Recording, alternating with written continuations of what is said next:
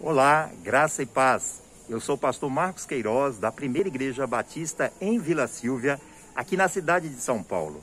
Hoje, 14 de março de 2021, estaremos iniciando uma campanha de 21 dias de oração e clamor ao nosso Deus pelo nosso país, pelo estado de São Paulo e pela cidade de São Paulo. Quero conclamar todos os membros e congregados da Primeira Igreja Batista para estarmos jejuando, orando, às 7 horas da manhã, às 12 horas, às 17 horas e às 22 horas.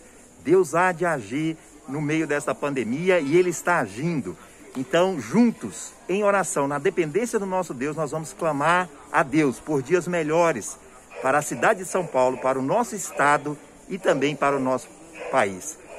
Conto com sua participação, com seu compromisso e nos lembremos sempre da palavra de Deus que nos diz em 2 Crônicas 7,14: Se o meu povo que se chama pelo meu nome se humilhar e orar e buscar a minha face e se arrepender e confessar os seus pecados, então eu ouvirei dos céus, perdoarei os seus pecados e sararei a sua terra.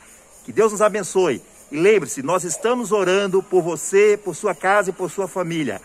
Deus é conosco.